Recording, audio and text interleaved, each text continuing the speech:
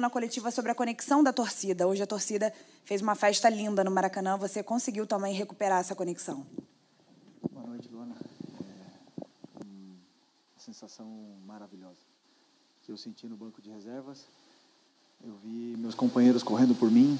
Eu me senti muito orgulhoso. Eu sou um privilegiado e eu falei, não falo da boca para fora. Quando a torcida quer ganhar o jogo, ela ganha sozinha. Então, o apoio que teve hoje refletiu nos jogadores e fico muito feliz de ter é, conseguido trazer essa energia e, e, a comunhão com a torcida ela tem que é, crescer cada vez mais. Mas isso só vai, a gente só vai conseguir se dentro do campo a gente corresponder à expectativa deles. Felipe, Letícia Marques do GE. Bom, eu estava aqui na coletiva que você falou, né? Após a sua aposentadoria, você até sentou aí brincando, falando assim. Some things have been happening that might be related. You're malfunctioning. Dez meses praticamente, né? Desde que você se aposentou, você já falou pra caramba na sua apresentação, mas eu queria que você. A gente viu algumas imagens, é, você muito emocionado é, durante todo esse período, né? Agora, principalmente quando você pisa no gramado. E eu queria que você hoje, técnico do Flamengo, o que, que você poderia falar de recado para o Felipe Luiz de dez meses atrás, que sentou aí e brincou um pouquinho nesse período? O que, que você pode falar? É, assim, como eu falei, né, eu tinha um planejamento, um objetivo muito claro é, no pós-carreira. Eu já estava me preparando durante muitos anos, estudando durante muitos anos e estou aqui. Assim, antes ou depois ia acontecer. Uma hora eu sabia que ia acontecer. Então tentei me preparar o mais rápido possível para poder viver é, desse lado, do lado do treinador. Não é fácil. Hoje eu estou falando aqui com vocês na vitória, é muito mais fácil, mas vai, vão existir dias que eu vou estar aqui falando na derrota, que vai doer, mas é, é a profissão que eu escolhi. Eu sou muito apaixonado pelo que eu faço, muito mesmo.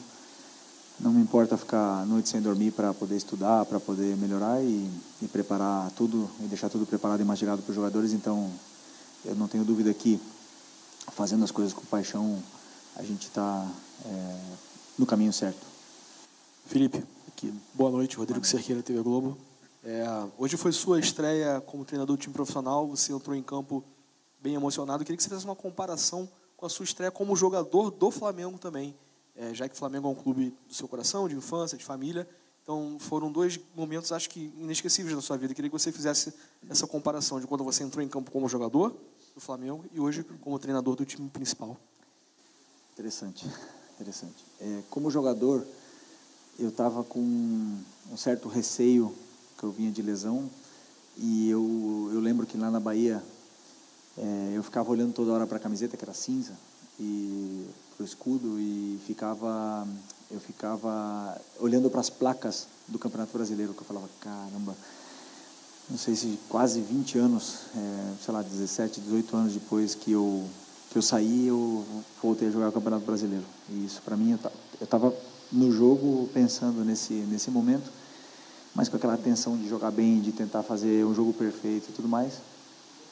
E não foi aquelas coisas, mas é, como, como treinador é 100% diferente, totalmente diferente, não tem nada a ver. O que eu vivi nesses dois dias, nesses últimos dois ou três dias, foram, foram é, sete anos da minha vida, mais ou menos. É, foi muito intenso, foram muitas e muitas horas de preparação para poder tentar ajustar coisas para o jogo, mas é, ficar no banco de reservas já não é uma novidade para mim, porque eu vivi antes. Então eu já, já tinha vindo aqui é, na final com o Sub-20, é, vivi várias vezes como essa experiência de estar no banco de reservas, então simplesmente foi ver realmente, o que mais me impressionou foram, foi ver meus companheiros correndo e fazendo o que eu falava. Antes eu estava dentro do campo jogando com eles e agora eu falava para ajustava as posições e eles faziam e me obedeciam. Isso foi o que mais me emocionou.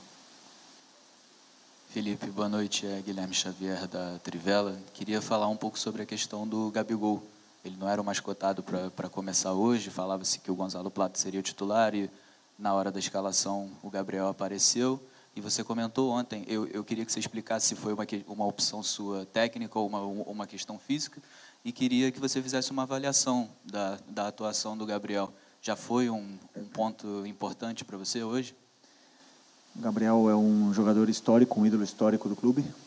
E eu, mais do que ninguém, sei o que ele pode é, dar para a equipe. Eu sei o que ele pode nos oferecer.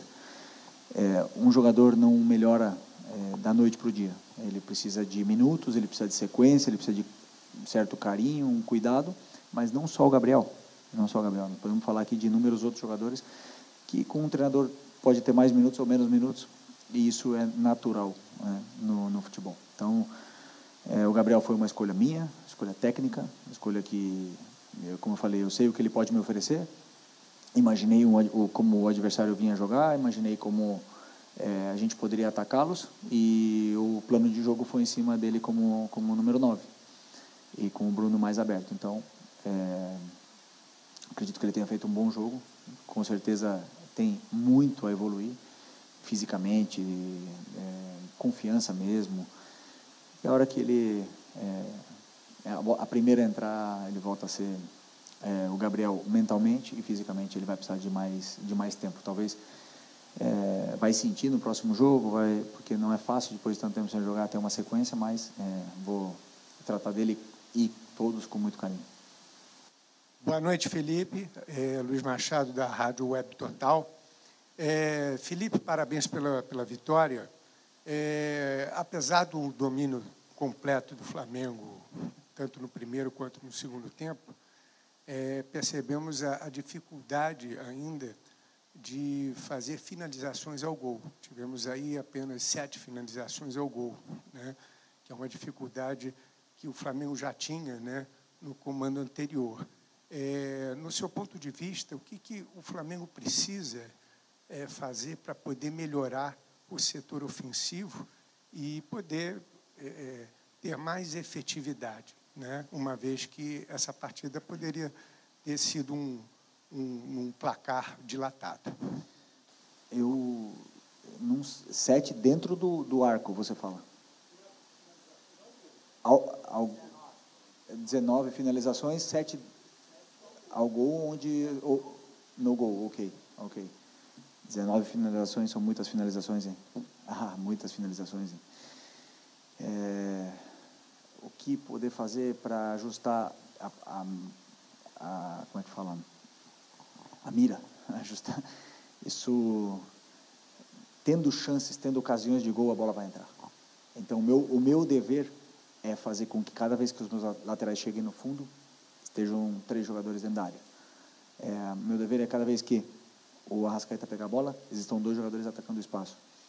E por aí vai. Então, vão fazer gol sempre? Com certeza não. É, pode ter certeza que existem dias melhores, dias piores, dias que vão, se vai golear, dias que a bola não vai entrar. Existe um grande goleiro no, no gol, que foi meu companheiro também. Desculpa. E, mas eu vi um time que criou muitas chances, que conseguiu finalizar e que incomodou o adversário em todo momento. Então, fiquei feliz porque é questão de tempo que a bola entre, porque a qualidade é, é extraordinária. Eu tenho uma, uma máquina na mão. Boa noite, Felipe. Alana Fonseca, da Mosaico. É, o que eu gostaria de saber uma coisa é que você hoje fez uma operação pós-perda muito forte e também subiu as linhas. Isso já era uma característica sua desde as categorias de base, no sub-15, no sub-20. Podemos falar que isso vai ser uma característica do Flamengo de Felipe Luiz? É, boa noite. Confesso que a pressão pós-perda que já estava antes do Felipe Luiz chegar era muito forte, sempre foi. Esse time tem um pé de pressiona muito forte, herança do trabalho do Tite. E as linhas altas é, é um ajuste que sim, já, também já existia, mas que eu quero fazer e quero colocar é, os ajustes necessários para poder fazer do meu jeito, né? Mas é um time que sabe fazer, que já fez, os jogadores já jogaram com esse com essa linha alta, porque é a única forma de pressionar é se pressionam todos juntos. Tá. Felipe, boa noite. Rodrigo do canal Vamos. Eu não sei se você acredita em coincidências, mas o Alexandre é um cara que esteve presente em muitos momentos da sua vida. Na seleção brasileira, vocês foram convocados juntos algumas vezes, né? Foram campeões da Copa América foram convocados uma vez um no lugar do outro, enfim, uma história que muitas vezes se confundiu ali. E hoje quis o destino que o Alexandre fizesse o primeiro gol da era Felipe Luiz aqui no Flamengo. Então eu queria te perguntar sobre essa sua relação com o Alexandre E se você acha que esse momento pode ter significado alguma coisa? Com certeza, quando a bola entrou, eu já pensei nisso. Falei, poxa, eu demorei tanto para fazer um gol, ele já fez o primeiro. É um jogador é, extraordinário. E jogador que jogou em time grande, que jogou Copa do Mundo, que jogou seleção, dispensa apresentação, vocês sabem disso. Pode ser é, que em algum momento ele seja questionado, né? Mas se a equipe, eu, eu, eu tenho, não tenho dúvida do que eu vou falar, que ele faz um, o time é, ser mais, como é que eu falo, poderia falar, ser mais completo com ele no campo, né? Mas, dito isso, eu, eu, foi muito difícil escolher entre ele e o Ayrton, porque eu adoro o Ayrton, um cara que eu vi crescer, que me botou no banco, isso eu não posso esquecer, e que não e que vai ter os minutos, claro que vai, é necessário. O, o Alexandro é, já tem a idade que eu tinha quando eu cheguei aqui, não vai conseguir jogar todos os jogos, e eu preciso do Ayrton. E é um jogador que tem muita margem de evolução, mas muita mesmo. Um jogador que tem é, um, uma, umas possibilidades é, que ele já chegou também na seleção, né? Que pode levá-lo à seleção, mas mantê-lo na seleção. Então, assim, eu tenho dois laterais que eu não, não preciso... Três, na verdade. Três laterais que eu só pegar, fechar o olho, pegar o dedo e botar no campo que eu sei o que vai, que vai solucionar meu problema. Por isso que eu repito, é a máquina que eu tenho na mão. Felipe, boa noite. Pedro boa Henrique noite. Carvalho, da Band News FM. Queria só citar uma coisa antes de eu fazer minha pergunta, que antes do gol anulado do, do Gabriel, eu consegui perceber eles, vocês dois se comunicando ali.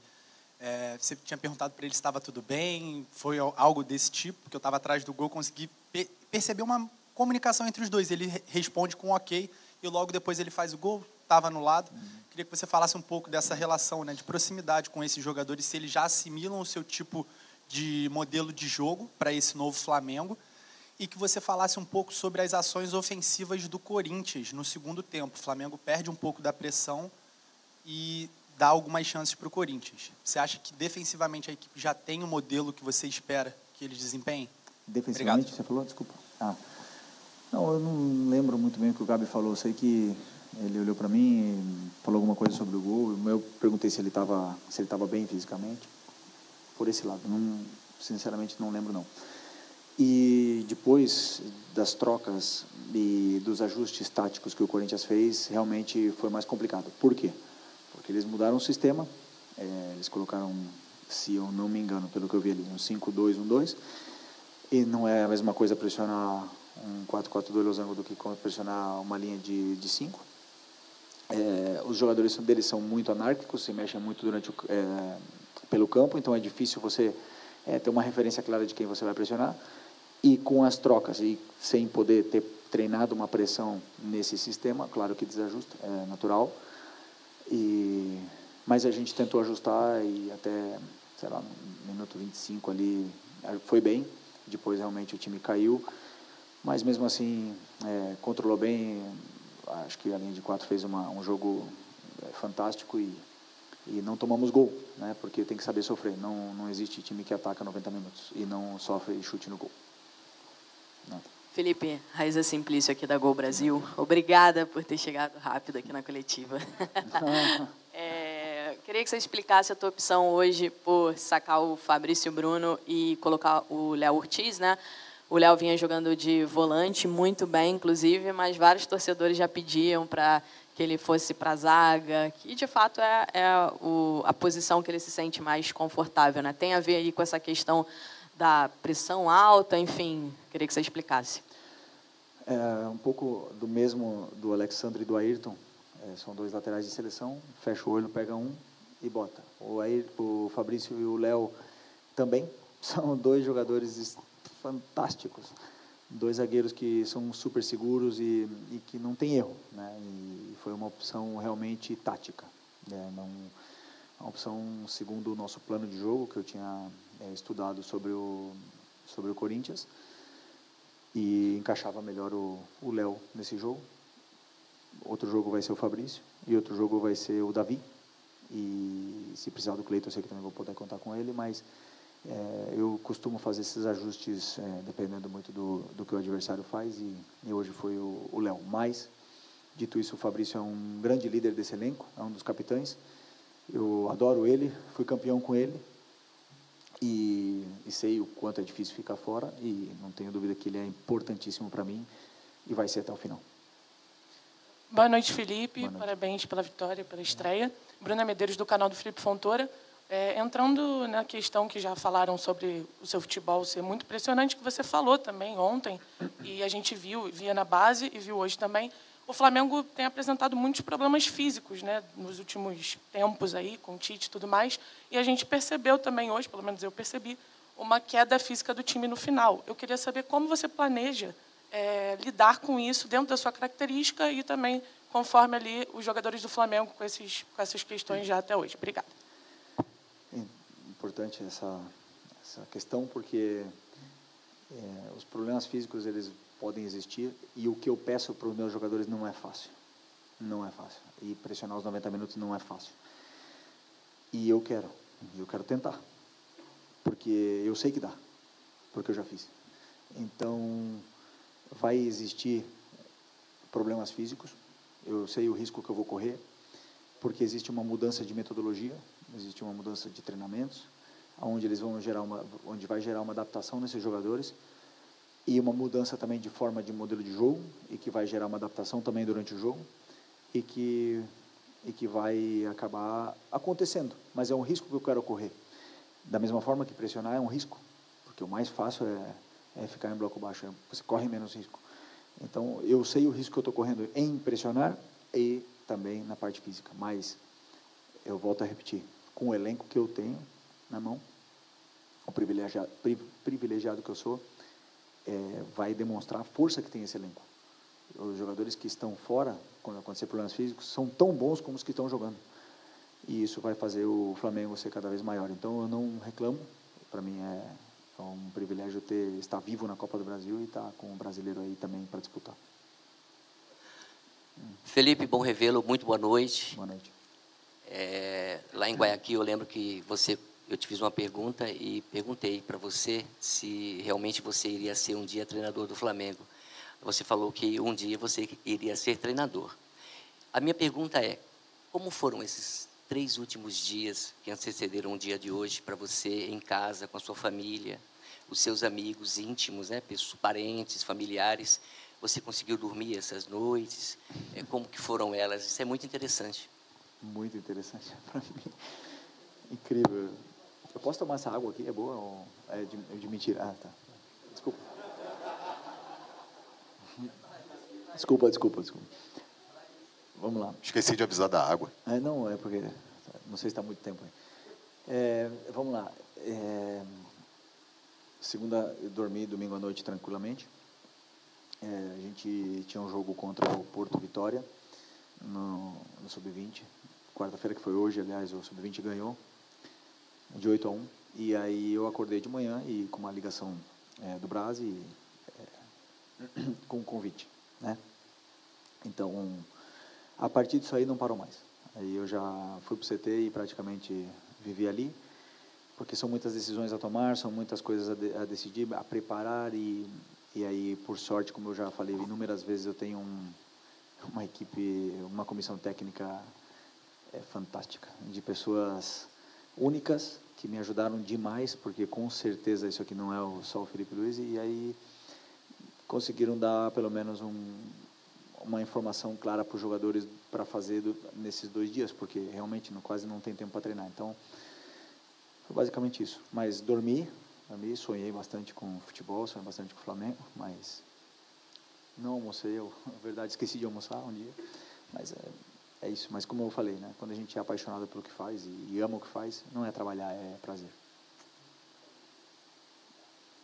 Pois é, eu segunda-feira não vi as crianças, ontem à noite vi um pouquinho, meia hora, mas sabem do, do que eu estou passando e entendem perfeitamente. Mas é, estão aqui no estádio hoje e estou louco para dar um, um abraço neles. Felipe aqui, boa noite, parabéns pela vitória. Ângelo Furtado, Time Web Esporte. Felipe, antes do início do jogo, tive o privilégio de entrevistar o Zico ali fora. Uhum. E ele falou que estava aqui hoje para te prestigiar, te considerava um amigo e ídolo. Queria que você mandasse um recado para o Galinho. Eu, ontem à noite eu estava indo para a cama e aí eu vejo meu celular. Arthur Coimbra. É, é interessante. É muito bom, muito bom. Ter o Zico como amigo é nunca, nunca me parece normal. É muito, muito um privilégio muito grande. Ele me ligou, me desejou sorte, me, me deu alguns conselhos, me contou um pouco da história dele como, como treinador. E é isso, como eu falei. Eu ainda não consigo ficar normal do lado do, do, do Zico, do Júnior, principalmente do Atirson. Não consigo ficar do lado dele direito, porque são grandes, são muito ídolos, mas estou é, me acostumando e o Zico é tão próximo, né, tão humilde que fica mais fácil. Mas para mim é, é único ter o Zico como amigo.